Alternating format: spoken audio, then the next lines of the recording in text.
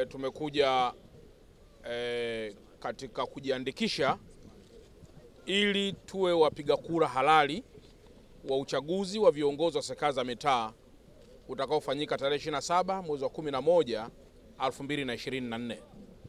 Mtakumbuka kwa dhati kwamba uchaguzi wa serikali za mitaa unasimamiwa na Wizara ya TAMISEMI chini ya Mheshimiwa Waziri wetu Mchengerwa, na mtakumbuka kwamba hii ni ofisi ambayo iko chini ya Mheshimiwa Rais mwenyewe, yaani Daktari Samia Suluhu Hassan.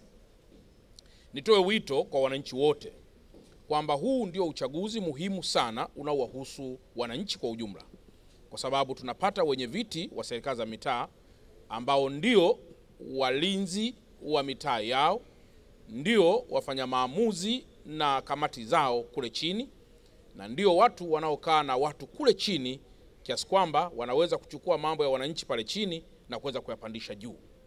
Mtakumbuka tena kwamba mwaka 2019 wakati uchaguzi huu kwa mara ya mwisho ukiwa umefanyika na sasa tunaenda nao mwaka huu, baadhi ya vyama vya siasa viligomea uchaguzi huu, na kwa mantiki hiyo vyama vingine vilifanya uchaguzi pasi vyama vingine vya upinzani. Mheshimiwa Rais kwa kutambua hilo ameamua kwa dhati kuja sasa na R4 ambazo ndani yake kuna masuala ya maridhiano ambayo sote tunahamasishwa kuangalia kama kuna jambo lolote baya linaloashiria uvunjifu wa misingi yote ya demokrasia katika uchaguzi huu, basi tuweze kupaza sauti.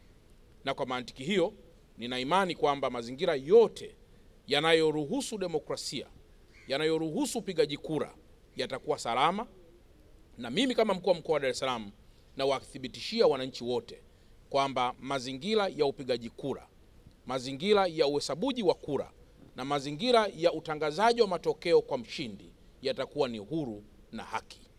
Nasi sote katika uchaguzi huu ambao tunaendelea kujiandaa, nitoe wito kwa wana Dar es Salaam wote sasa kujitokeza kwa siku hizi zilizopangwa na TAMISEMI kuweza kujiandikisha kutoka tarehe kumi mpaka tarehe ishirini ya mwezi wa kumi, ambapo mkishajiandikisha katika hili daftari la mkazi, maana yake mtakuwa ndio mmepata tiketi halali ya kuweza kuwa piga kura halali kwa tarehe 27 mwezi wa 11 2024. Baadhi ya vyama vya siasa nimevisikia vikilalamika kwamba mchakato wa uhamasishaji haujawa wa huru na haujawa na haki. Sasa naomba wasikie kote ulimwenguni na hasa katika kipande cha Tanzania na Dar es Salaam kwamba mchakato wa uhamasishaji ni mchakato unaofanywa na kila mwenye taarifa, wala hakuna jukumu moja la, la taasisi moja.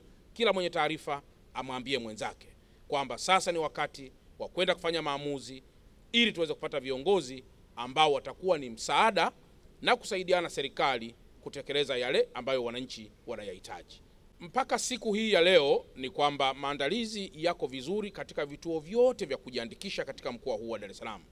Mtakumbuka kwamba huu ndio mkoa ambao pia una watu wengi sana, zaidi ya watu milioni tano na laki tatu wapo hapa, lakini eligible kwa maana wale wanaotakiwa kupiga kura hawatafika hawatafika idadi hiyo, lakini tumejitahidi sana kuhakikisha huduma hii inapelekwa katika mitaa yote 564 na vituo hivi vipo, kalika, vipo katika kila mtaa, na kwamba mitaa ambayo ina watu wengi vituo hivi vipo zaidi ya vitano, vipo zaidi ya vitatu, vipo zaidi ya kumi kulingana na mahitaji ya eneo husika. Eneo langu liko vizuri na vituo vyote mia mbili na saba uh, wa, maafisa waandikishaji wapo na zoezi linaendelea. Labda mmejipanga vipi sasa kuhakikisha kama kutaibuka changamoto zozote zinakuwa solved? Uh, hatutegemei kuwe na changamoto kwa sababu tumejipanga vizuri sana. Mpaka jana usiku saa tano usiku tumepitia vituo vyote na kila kitu kipo. Nishime ni waombe tu wananchi wote wa katika manispaa ya Kinondoni wajitokeze katika kujiandikisha katika daftari hili la mkazi. Labda uandikishaji unaanza saa ngapi na unafungwa saa ngapi? Uandikishaji unaanza saa mbili kamili asubuhi hadi saa kumi na mbili jioni.